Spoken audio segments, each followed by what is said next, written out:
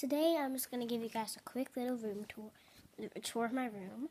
And so, as you can see, here's my bed, and then there's my TV, my dresser, which is really, really dirty right now, my door, and then down here I have like all this stuff, and then right here, and my closet my bed. There's something stuck on my foot. Okay. And right here I have my rock collection. In here I have this rock. And my room's really dirty right now. So please do not like make fun of my room because I do not clean it much. You can see this me in the mirror.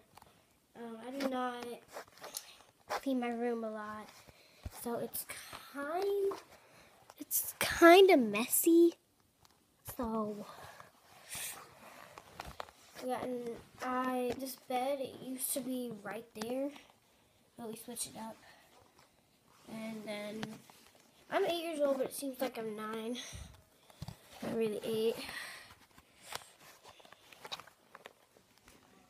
Somehow know how to do YouTube. And I have like all this stuff on my bed. Um, yeah, and then you can see the picture frame, and then the window, and then the window.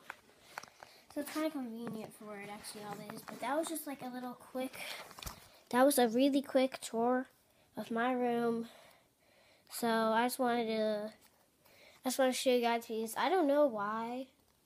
I just wanted to because I couldn't think of ideas. So I was like, oh, I should do a tour of my room. so, bye.